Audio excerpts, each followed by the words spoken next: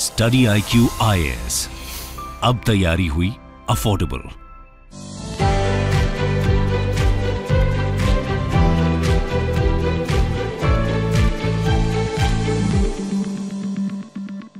नमस्कार दोस्तों, अक्सर आप न्यूज़ सुनते रहते हैं कि जो सबमरीन है, वो भारत के द्वारा कमीशन किया गया है लॉन्च किया गया है।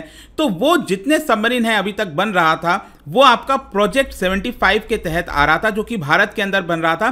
फ्रांस के साथ मिलकर। लेकिन इसको और आगे बढ़ाने के लिए सरकार ने दूसरा एक प्रोजेक्ट लाया था, जिसका नाम है P seventy five I I का मतलब हो गया इंडिया। मतलब कि ज़्यादातर चीज़ें भारत के द्वारा की जाएँगी फॉरेन मैन्युफैक्चरर के साथ मिलकर। लेकिन ये वाला जो प्रोजेक्ट है पी सेवेंटी फाइव आई ये अब काफ़ी ज़्यादा परेशानी में आ चुका है, क्योंकि रशिया भी यहाँ से विड्रॉ कर लिया है। जी हाँ मैं बता दूँ कि ऑलरेडी फ्रांस तो विड्रॉ कर लिया था इस प्रोजेक्ट से, लेकिन रशिया ने भी कर लिया। ये आप देख पाओगे P seventy five I submarine project future uncertain after Russia pulls out तो इसको डिटेल से समझेंगे कि एग्जैक्टली exactly हुआ क्या है, ये पी सेवेंटी फाइव आई है क्या?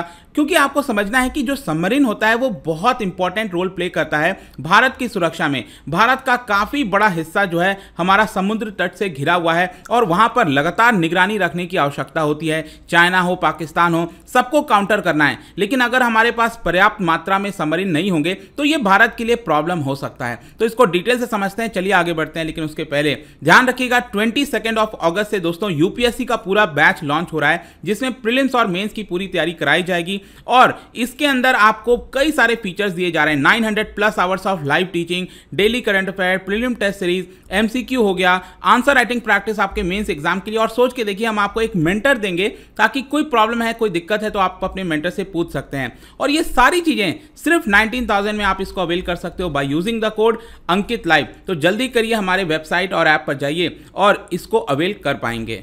इसके अलावा अगर आपको पॉलिटिकल साइंस का ऑप्शनल बैच की तैयारी करनी है तो ये आज से ही स्टार्ट हो रहा है। जी हाँ आज से पॉलिटिकल साइंस का स्टार्ट हो रहा है। वहाँ पर एनरोल करा सकते हैं ज्योग्राफी में एनरोल करा सकते हैं and use the code Ankit live ताकि यहाँ पर भी आपको मैक्सिमम डिस्काउंट मिल जाए। इसके अलावा अगर आपको एमसीक्यूज अटेम्प्ट करना है तो मेरे इंस्टा पेज पर जाइए, वहाँ पर स्टोरीज में जितने भी एमसीक्यूज हैं, उसको आप अटेम्प्ट कर पाएँगे। चलिए शुरुआत करते हैं और सबसे पहले देखते हैं एग्जैक्टली हो क्या रहा है। देखिए, यहाँ पर जो रशिया है जो रशिया पार्टिसिपेट करने वाला था प्रोजेक्ट 75 आई में, वो अब कह रहा है कि ये काफ़ी अनरियलिस्टिक है। मतलब कि सरकार के द्वारा, भारत के द्वारा यहाँ पर जो टर्म्स एंड कंडीशंस रखे गए हैं for the request for proposal actually क्या होता है कि जब भी कोई प्रोजेक्ट लाया जाता है टेंडर लाया जाता है तो यहाँ पर आरएफपी जारी किया जाता है। मतलब उसके अंदर जो टर्म्स कंडीशन सब कुछ है, वो लिखा रहता है और जो भी उसको लेकर बिडिंग करता है और आगे चलकर जो कंपनी सेलेक्ट की जाती हैं, वो इसके अंदर पार्टिसिपेट करती हैं। लेकिन रशिया का कहना है कि यहाँ पर जिस तरह से टर्म्स एंड कंडीशंस रखे गए हैं भारत के द्वारा।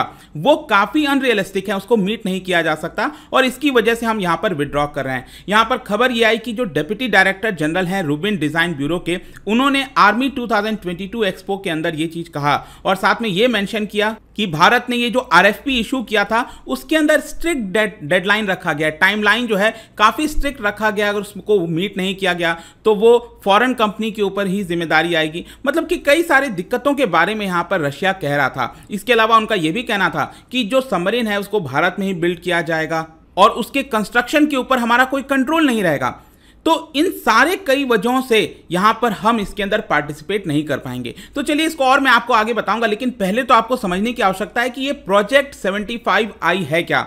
देखो ये करीब 43,000 का करोड़ का प्रोजेक्ट बताया जा रहा था और ये लार्जेस्ट प्रोजेक्ट था जो कि भारत लेके आया था under the new strategic partnership जिसके तहत भारत की कोई मैन्युफैक्चरिंग फर्म जैसे कि आपने Mazagon dockyard ship building limited के बारे में सुना होगा तो जो कि शिप बिल्डिंग में इन्वॉल्व रहती है तो भारत की एक फर्म जो है, वो किसी फॉरेन कंपनी के साथ मिलकर सिख सबमरीन को यहाँ पर मैन्युफैक्चर करने वाली थी। और यहाँ पर एक और चीज़ था कि जो फॉरेन कंपनी पार्टिसिपेट करेगी, उसको टेक्नोलॉजी भी शेयर करना होगा। तो आई होप कि आप समझ पा रहे होगे कि भारत की कोई फर्म जो है, वो किसी फॉरेन कंपनी के साथ मिलकर ये प्रोजेक्ट 75 आई के तहत सिख सबमरीन को बनाने वाली थी। और फॉरेन कंपनी को टेक्नोलॉजी भी शेयर करना था। अब यहाँ पर एक और चीज़ आपको समझने की आवश्यकता है कि जो प्रोजेक्ट 75 है, देखो ये तो पी 75 आई की हम बात कर रहे हैं, लेकिन ऑलरेडी प्रोजेक्ट 75 पी 75 जिसको कहा जाता है, ये ऑलरेडी लॉन्च हुआ था 2005 में और इसके तहत भारत और फ्रांस ने मिलकर कलवरी क्लास के जो सबमरीन है उसको बनाया है। अगर आपने देखा होगा, भारत के पास इस समय प्रेजेंट में 16 सबमरीन है टोटल यहाँ पर आप देखोगे, जो कलवरी क्लास है, ये चार नाम दिख रहे होंगे। कलवरी खंदेरी करंज, वेला, उसके बाद वगीर हो गया और वगशीर, ठीक है? ये टोटल छह जो सबमरीन है, वो भारत और फ्रांस ने मिलकर बनाए हैं। लेकिन ये काफ़ी नहीं है। और इसी के तहत हमें यहाँ पर और ज़्यादा सबमरीन की आवश्यकता है और इसीलिए प्रोजेक्ट 75 आई ये लॉन्च किया गया था। अब देखिए प्रोजेक्ट 75 आई में और क्या खास बात है? ये डीजल इलेक्ट्रिक अटैक सबमरीन है, जैसे कि प्रोजेक्ट 75 में ये था कलवरी क्लास स्कॉर्पिन क्लास जिसको कहा जाता है, लेकिन इसके अंदर और एडवांस कैपेबिलिटीज लानी थी, जैसे कि एयर इंडिपेंडेंट प्रोपल्शन सिस्टम हो गया। अब ये क्या होता है, इसमें बेसिकली क्या है कि जो इलेक्ट्रिक सबमरीन होता है डीजल इलेक्ट्रिक सबमरीन वो ज़्यादा देर तक पानी के अंदर नहीं रह सकता, उसको बार बार पानी के अभाव आना पड़ता है ताकि ऑक्सीजन लेकर यहाँ पर उसको ऑपरेट कर सके। लेकिन आपको पता है कि जो सबमरीन होती हैं, वो जितना ज़्यादा पानी तक रहेंगी, हम एनिमी से छुप कर रह सकते हैं राइट तो यहाँ पर एयर इंडिपेंडेंट प्रोपल्शन सिस्टम क्या करता? कई, एक हफ़्ता, दो हफ़्ता तक जो है, इस सबमरीन को पानी के अंदर ही रखा रहता, उसको बार बार बाहर आने की आवश्यकता नहीं पड़ती। इस तरह के और कई फीचर्स हैं जो कि आप देख पाओगे anti surface warfare land attack capabilities इस तरह की जो फीचर्स हैं, वो प्रोजेक्ट 75 आई के तहत किए जाने थे। भारत की कोई फर्म जो है, वो आपका फॉरेन फर्म के साथ मिलकर मैन्युफैक्चर करने वाली थी और इसको मेक इन इंडिया इनिशिएटिव के तहत लाया जा रहा था। और फाइनली इसको देखते हुए सरकार ने दो इंडियन शिपयार्ड को सेलेक्ट किया। कौन कौन से? एक तो मजगांव डॉक लिमिटेड हो गया दूसरा है लार्सन एंड टर्बो एलएनटी जिसको कहा जाता है।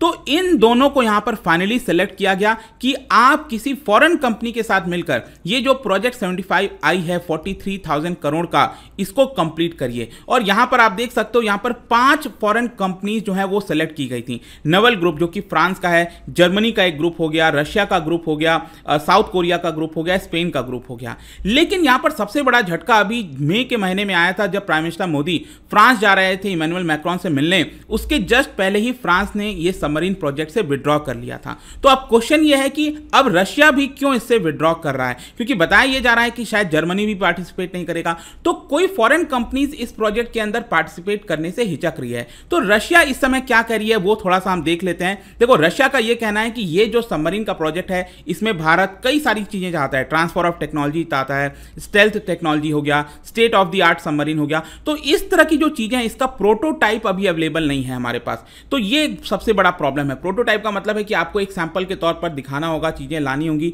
तब जाकर आप चीज़ें कर पाओगे। इसके अलावा यहाँ पर यह भी है कि ये सारी चीज़ें भारत के अंदर मैन्युफैक्चर होंगी। और अगर ये टाइमलाइन मीट नहीं हुआ तो इसकी जो पेनल्टीज है, वो फॉरेन कंपनीज़ देंगी। जिसको फॉरेन कंपनीज़ का मतलब हो गया ओरिजिनल इक्विपमेंट मैन्युफैक्चर मान लो अगर रशिया और भारत के बीच में डील हो जाता। तो तो यहाँ पर अगर इसके टाइमलाइन में डिले आता, कुछ भी प्रॉब्लम होती तो इसकी पेनल्टी कौन भरता? रशिया भरता। तो रशिया का कहना है कि जब हमारे अंडर में ये है ही नहीं, हम इसको कंस्ट्रक्ट नहीं कर रहे हैं तो हम इसको लेकर पेनल्टीज क्यों दें? तो ये यहाँ पर रशिया कह रहा है। इसके अलावा रशिया का एक और यहाँ पर जो इशू है, वो ये है एयर इंडिपेंडेंट प्रोपल्शन मॉड्यूल को लेकर। यहाँ पर विश्व के अंदर बताया जाता है कि दो ऐसे कंट्रीज़ हैं जो कि इस हाई एडवांस टेक्नोलॉजी का करंट में ऑपरेशनल इस्तेमाल कर रहे हैं, साउथ कोरिया और जर्मनी। तो इसको भी लगाना इतना आसान नहीं होगा। तो आई होप कि आप समझ पा रहे होगे कि जो रशिया है, वो क्यों इस प्रोजेक्ट से विड्रॉ कर रहा है। वैसे मैं आपको बता दूँ कि ये जो प्रोजेक्ट है, वो ऑलरेडी बहुत ज़्यादा डिलेड हो चुका है। जो रिक्वेस्ट फॉर प्रपोजल था, जो सारी चीज़ें होनी थी, वो नवंबर टू में ही कंप्लीट हो जाना था। लेकिन आगे चलकर इसको पुश कर दिया गया जून टू तक।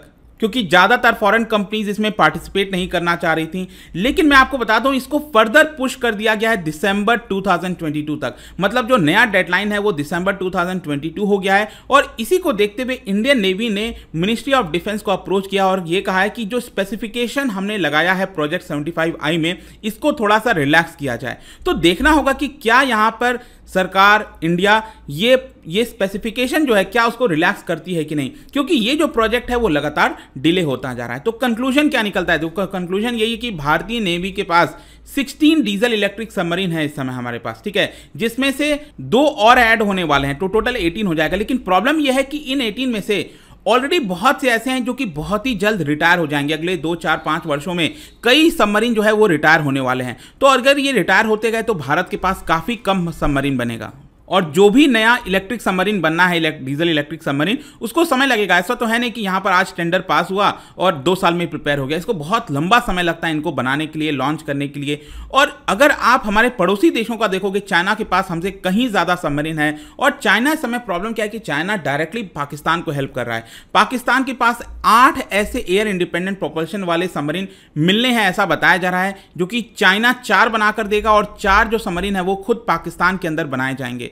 तो हमारे पड़ोसी देशों में इतने तेज़ी से अगर काम हो रहा है तो भारत इसको क्यों नहीं कर सकता? ये एक बहुत बड़ा कंसर्न है दोस्तों एंड आई होप कि ये जो पूरा वीडियो था रिगार्डिंग रशियन विड्रॉल ये आपको समझ में आ गया होगा। जाने से पहले एक इंटरेस्टिंग क्वेश्चन है आपके लिए। क्या बता सकते हो कि इन चार में से कौन सा भारत के पास न्यूक्लियर पावर्ड सबमरीन है? इनमें से कौन सा न्यूक्लियर पावर्ड सबमरीन है? ये आपको बताना है। इसका राइट आंसर आपको पता ही है मेरे इंस्टाग्राम पर तो मिलेगा ही। वहाँ पर अगर आप नहीं हो, कोई बात नहीं टेलीग्राम से भी ले सकते हैं इसका सही उत्तर। मैं कई सारे जो एमसीक्यूज है, वो यहाँ पर स्टोरीज में डाल दिया करता हूँ। बाकी अगर आपको पीडीएफ चाहिए तो टेलीग्राम पर आइए अलग अलग सोशल मीडिया पर आप जुड़ पाओगे। और जैसा मैंने बताया यूपीएससी की तैयारी काफ़ी आसानी से हो सकती है। Use this code Ankit live ताकि मैक्सिमम डिस्काउंट आपको मिल सके और ध्यान रखिएगा, आज से पॉलिटिकल साइंस का ऑप्शनल बैच स्टार्ट हो रहा है। उसको आप ज्वाइन कर सकते हैं by using the same Ankit life code to get the maximum discount I hope कि वीडियो आपको पसंद आया होगा। मिलता हूँ आपसे next time till then thank you very much see you soon study I Q I S अब तैयारी हुई अफोर्डेबल